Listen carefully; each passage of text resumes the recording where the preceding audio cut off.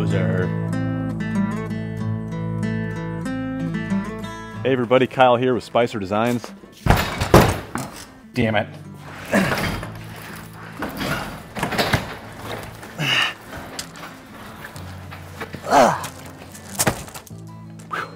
Welcome back to the channel. I need to get a freaking door opener for this thing. And I have to prop it, otherwise it will hit the machine. I am going to be making a video about these two gas cans. If I haven't posted it already, I will be posting it very soon. Aside from that, I have some bad news. I need to use the new Bobcat E35, but unfortunately, I cannot. Here's why. Let's hop in this thing.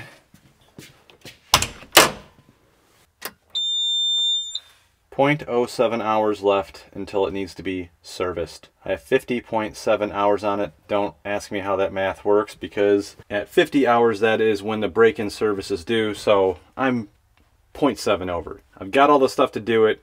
That's what we're gonna do today. Oh no, don't tell me.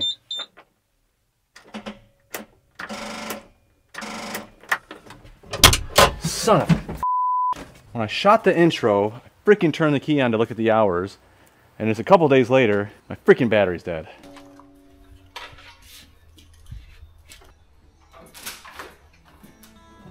Oh yeah, she's dead.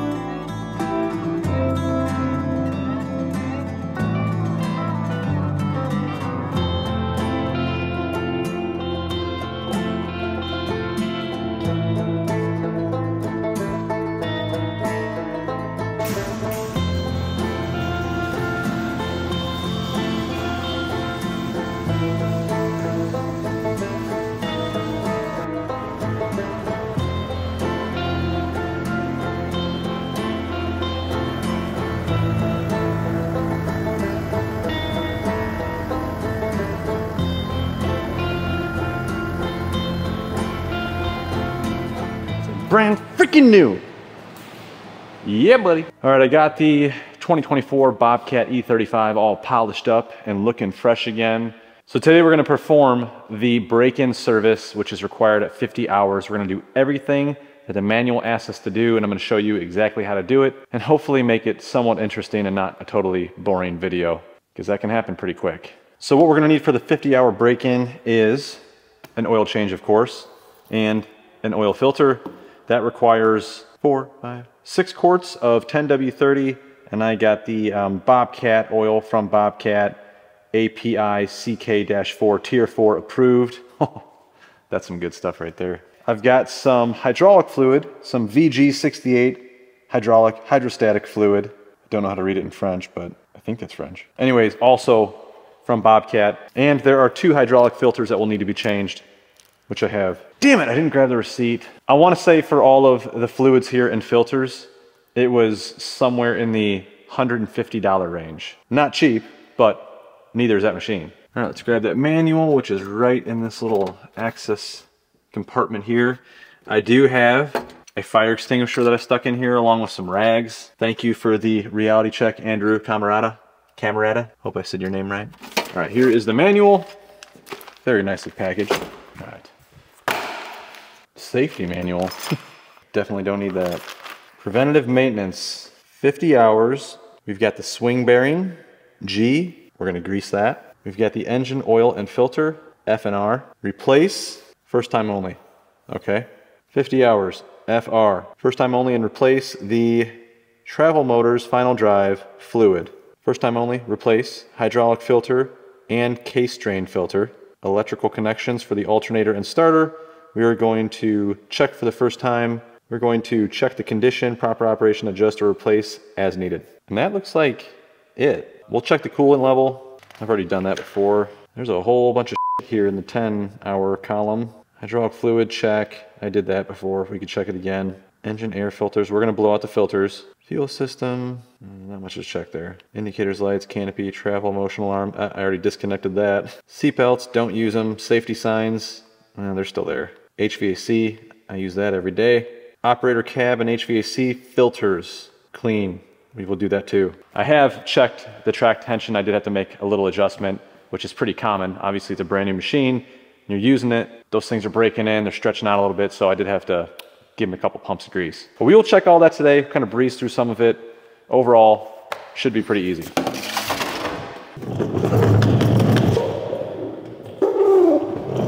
Oh, that's easy. Right there. I'm guessing that is, man, it kind of looks like 9 16ths. If that's 9 16ths, well, no one will care. Hell yeah! Actually, it might be metric, but this will work. Damn it, they really freaking. Okay, whoever freaking torqued this thing down had to be a new guy. Oh, holy crap.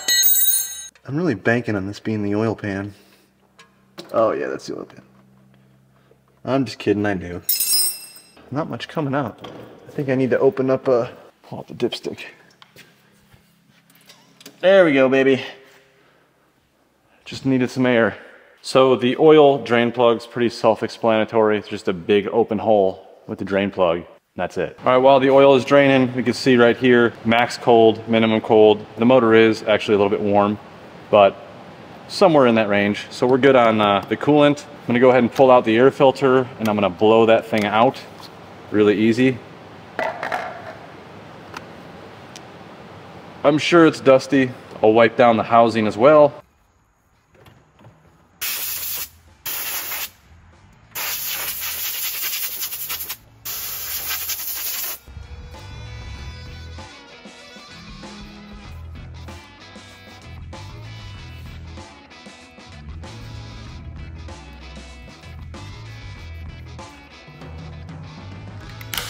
Hopefully you guys can see this. The air cleaner right there, which we just blew out and put back in. Right here, there is an air cleaner indicator. And if you press on this button right here, you see that little red ring right in this little window.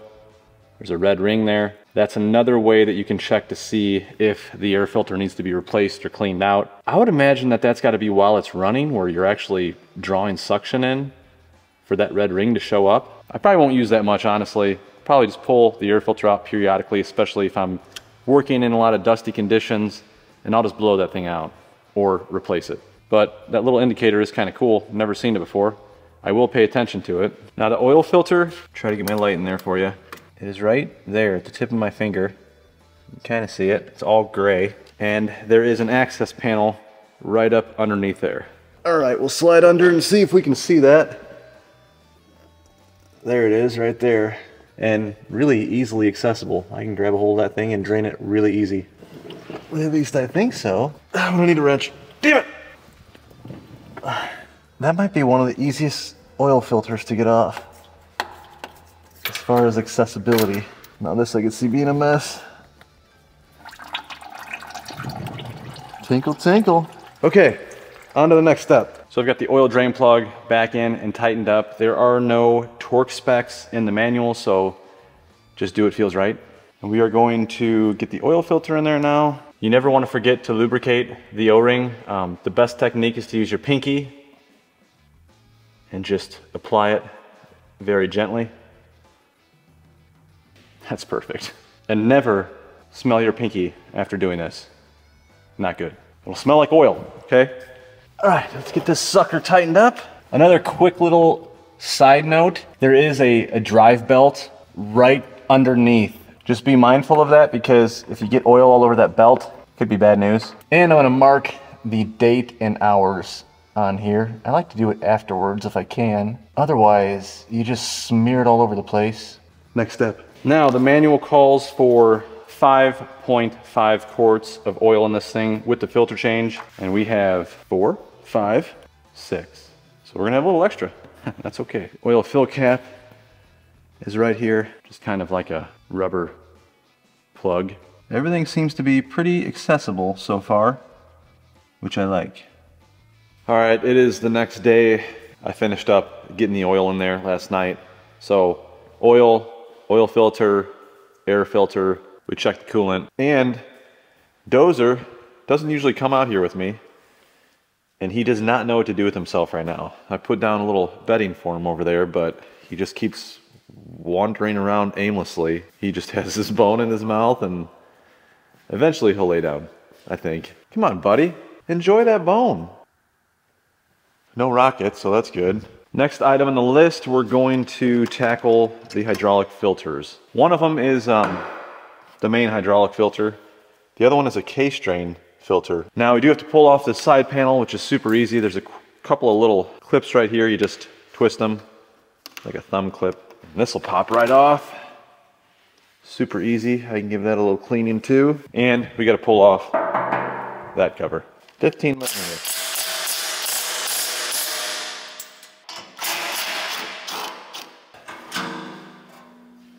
A little dirty also.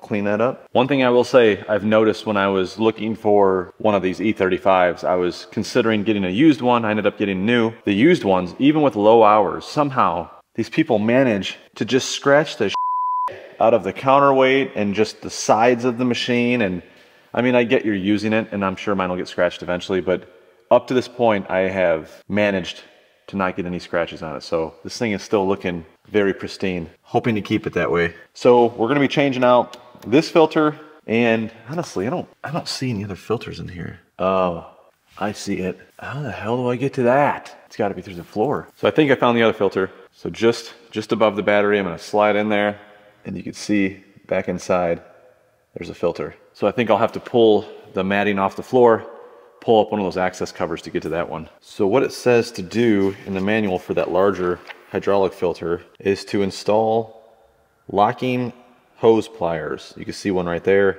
and there's one right there. Might be hard to see. Well, I don't have locking hose pliers, so I'm gonna try to use these clamps. Because this is a pretty good size hose. I mean, that thing looks like it's inch and a quarter. I mean, I get it. The idea is to kind of cut off the supply. See, I think you need one right here too. I mean, that's clamped pretty good. We're still gonna get some fluid coming out.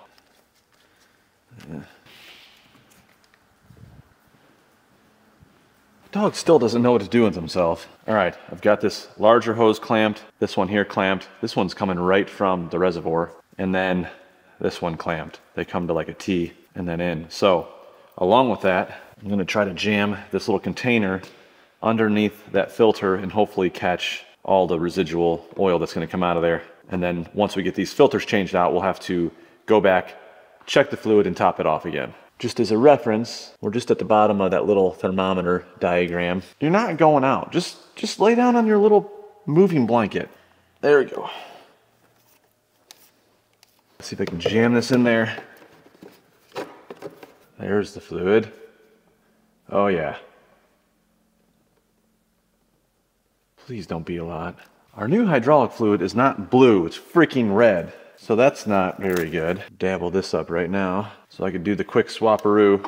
I think it has slowed down, so I think we're good with the clamps. Should have gloves on and I don't. I'll try to get this in there.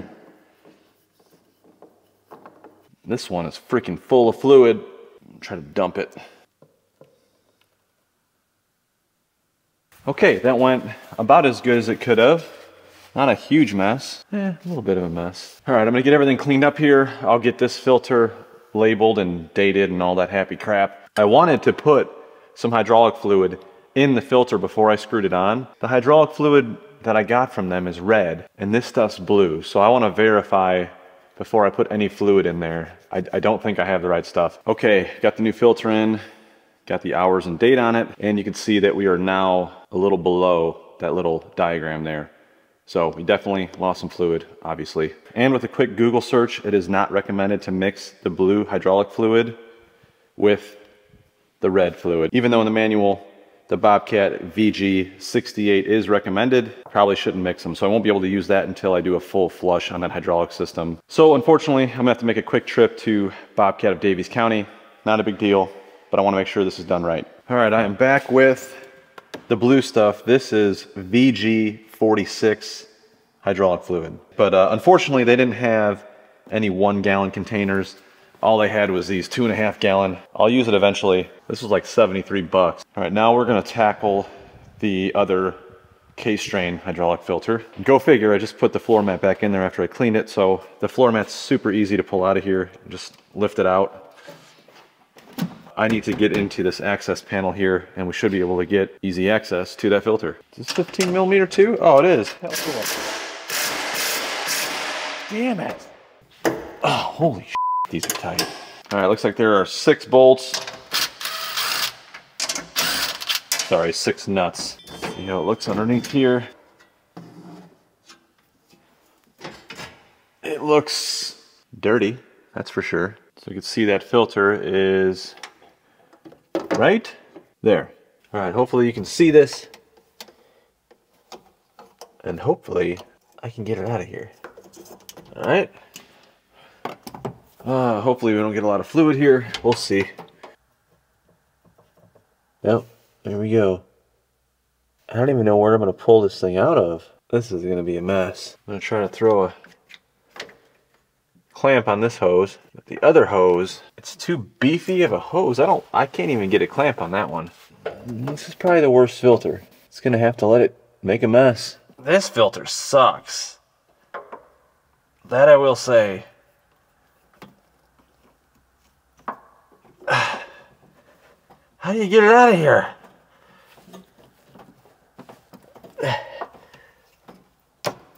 Oh, crap. You literally can't barely... Ah, there we go. That thing is just dumping fluid out. I don't like this one bit. There's got to be a better way to do this filter. Everything was going so good. It's really tight to get the filter out right here and fluid is just dumping down there. It's it's a mess.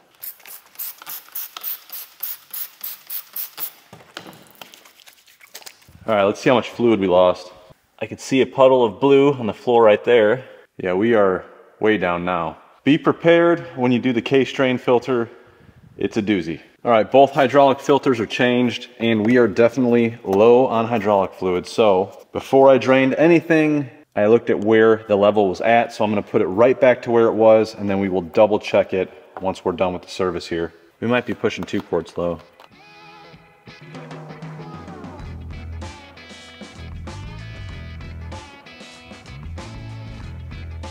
I'm going a little too much, but that's okay. We'll see where we're at. We're almost at two. I don't freaking know. Well, we used about that much. I'm guessing it was it was definitely at least a quart, probably a quart and a half. It's good that I overfilled it a smidge compared to where it was because I still don't have any fluid in those filters too. So we're definitely, at least this gets us close and then we can check it the way that it tells you to check it and we'll top it off. I did check the battery terminals already, but just note that, um, do a little visual on your battery terminals, make sure there's no corrosion on them. It's always good to just keep an eye out when you're doing a service, even if it doesn't call for it, there might be something that you'll notice. There could be an issue. All right, what the hell else we gotta do? Alternator and starter, we're supposed to check it. Just check it. I don't know what the hell I'm supposed to do to it. It works. Quick note, if you're wondering about the alternator belt and the fan belt, uh, both of these paragraphs say the exact same thing, so we'll read one of them here. The fan belt is a special maintenance-free type that is pre-tensioned over the pulleys. The belt eliminates the need for a tensioning device and does not require periodic adjustment. Contact your Bobcat dealer for replacement parts. So we don't need to do anything with those.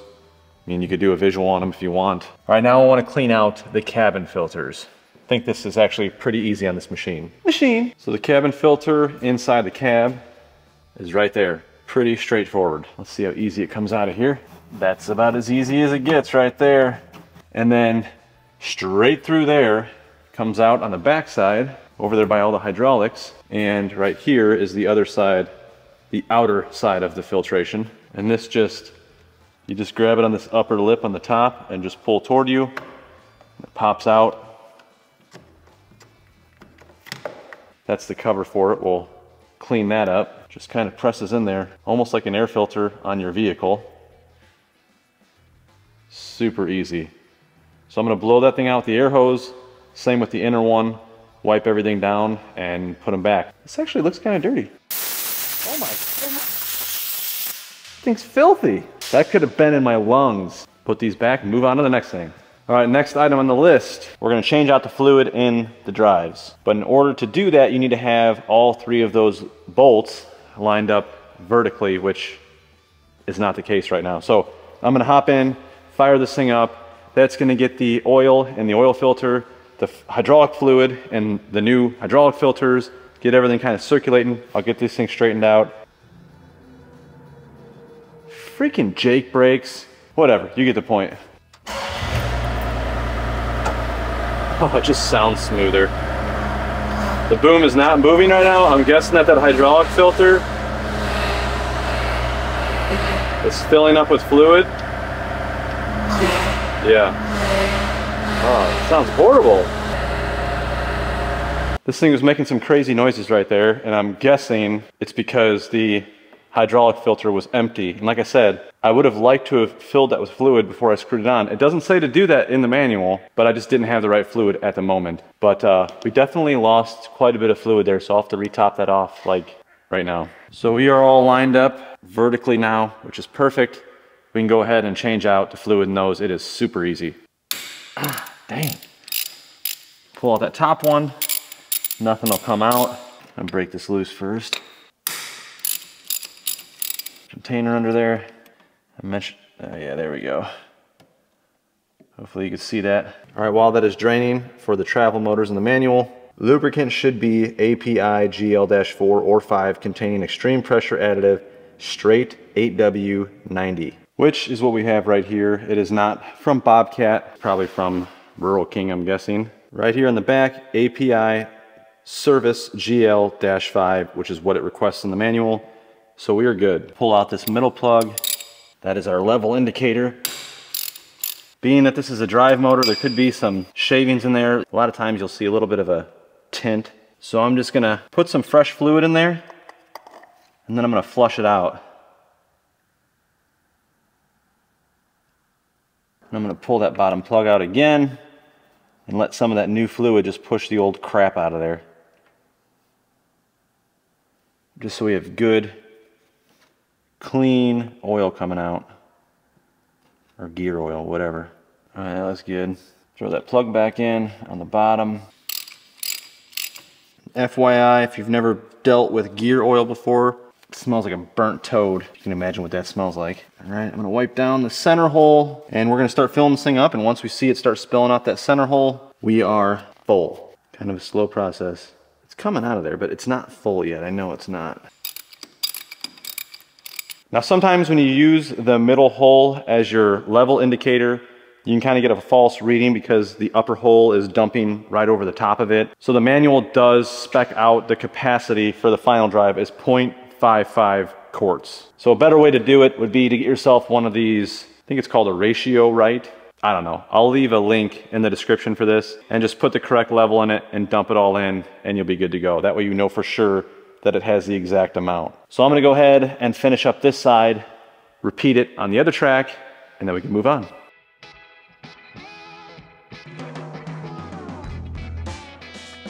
All right, it is the next day. I had to call it early yesterday because I took the family to the local rodeo. It's actually a lot of fun. I'll go ahead and tell you, you probably want to go out there and get you a corn dog. Come on back, we'll let you know when the rodeo starts, ladies and gentlemen. Look at here, look at here.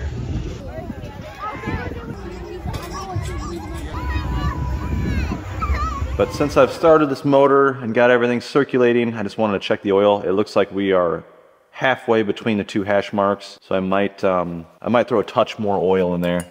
And I did go ahead and not topped off, but I put the hydraulic level back to where it was in this position before we started draining everything, but we're going to still check it right now. This diagram tells you exactly what position to put the machine in in order to check the hydraulic fluid level. So I'm gonna go ahead and stretch out the machine, get it in that position, and then we can finish off the hydraulic fluid and move on to the next part. I think we're still consuming some hydraulic fluid because the pump is still whining a little bit and I see some, some bubbles in there.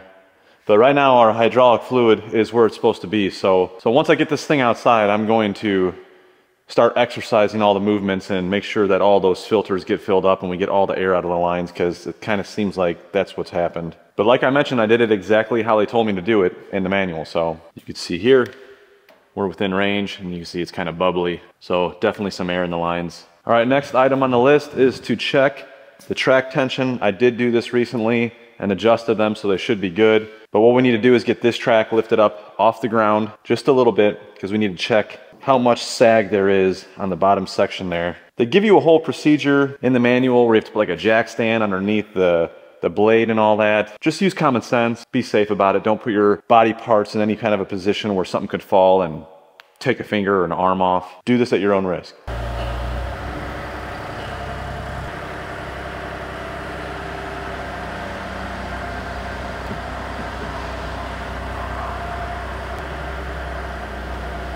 All right, we're off the ground.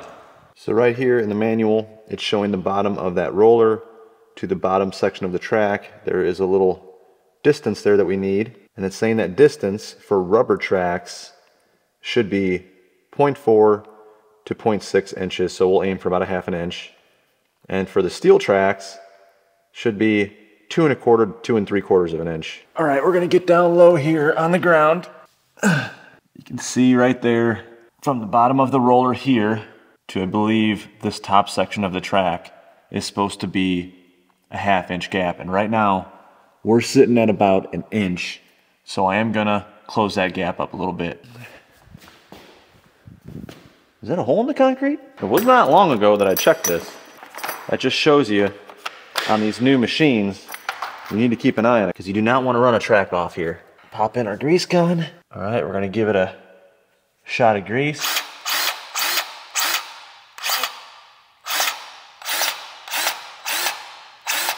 About a half an inch right there. We'll call that good. Pretty damn easy. And if the track is too tight, you'll have to refer back to the manual. It'll tell you exactly what to do to basically relieve all that pressure and then you would start over again. I'm gonna spin the sucker around, I'll do the other side, and we'll move on to the last couple final steps. That made no sense. Quick side note, the latch right here for this side cover, it's mounted to a bracket and I noticed that when I was wiping this thing off, just wiping the dirt off, I noticed it moved a little bit. So on the other side, I checked the nuts on these carriage bolts and both of the nuts were just a little bit loose. So eventually they would have probably vibrated off and I would have lost that bracket. It could have been not a huge problem, but it just confirms why you need to pay attention when you're doing your services, do a visual, always be looking for other little items. So I went through and I checked all the bolts in here and we're good. Oh, I need to buff it one more time. Two more things to do, but I want to pull the machine outside to do it because if I don't, there's a good chance that I'll die in here. Maybe I'll crack the door. And there's one more little pointer up there on the bucket that the service tech told me about that I want to share with you because it is not in the manual. All right, before we go and pull this thing outside, we're going to do probably one of the most important parts because um, this is something that I did not know. On these newer Bobcats, Bobcat can actually track your machine through the cloud. so my Bobcat dealer, Bobcat of Daviess County, actually called me and said, hey, we see that you're due for your 50 hour service.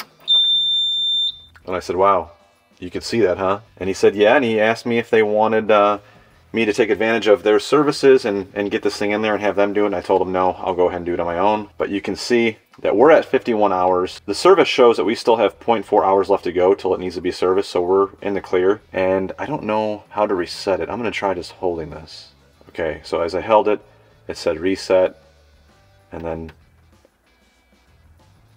Okay, I don't know why it went to 50 hours. All right, for resetting the maintenance clock, this is our style screen. It tells us to do exactly what we did, get to the maintenance part, um, hold the hold the info button until the reset pops up and it says the maintenance clock cannot be reset unless the planned maintenance interval is less than 10 hours away or the maintenance is past due. So we were within range there and it reset us to 50 hours, which does make sense because if you go to the maintenance intervals, we just did our 50 and at 100, there's nothing in this column But when we go over to this page in the 100 column, we do have the spark arrestor that we are supposed to clean. So I think we're all good there. All right, first thing I wanna do is just exercise everything because the hydraulics still sound a little goofy. Something smells a little funky.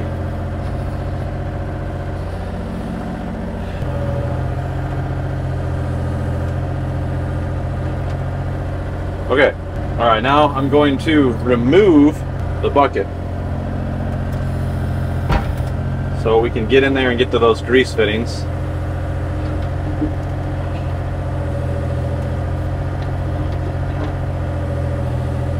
Alright, I'm going to stretch this thing out, get it down low so I can reach everything. And I'll probably have to move it around a little bit to grease everything. That's okay. So I'm going to get everything greased just like you normally would. If there's any fittings that you think you might have missed, just refer back to the manual. It has a diagram that shows you everything. Come on, big rig. But you have to be careful down here on the linkage where the bucket is because there are a ton of grease fittings. You might see one right here and think that's it, but there's actually a couple more underneath and it's like that in multiple places. So really spend some time and look at it. You might have to reposition that all a little bit here and there to get to those spots, but something to be aware of. What we have to do for the swing and the pinion bearing, those two fittings right there, we need to put like four or five pumps of grease in them every 90 degrees. So I'm gonna start off going this way, hit it four or five pumps, turn it 90 degrees the way it's sitting now, and then that way, and then backwards. And that will get grease all the way around that sprocket. One, two, three, four, five. One, two, three, four, five. One, two, three, four. One, two, three, four, five. All right, that should be it for greasing. You got to keep the teats clean here. All right, now for the pointer that they do not tell you about in the manual.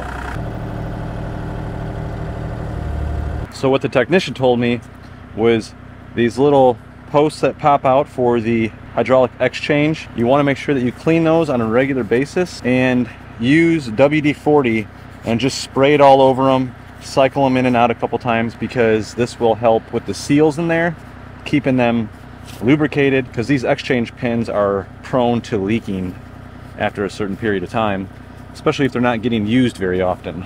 I think I use mine quite a bit, but so we are gonna lube this up real good. Clean the other side up real good. And he said all you need is some WD-40, so. All right, I'm gonna cycle them in and out a couple times. We'll lube it up again.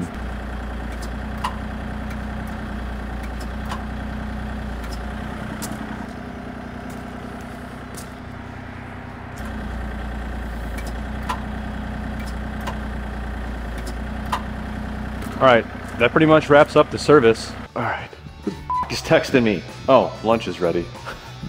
Better take care of that. Anyways, thanks for watching. We'll see you on the next one. Did a leaf get in here? God, that's freaking beefy. This little bobcat on there. Rare.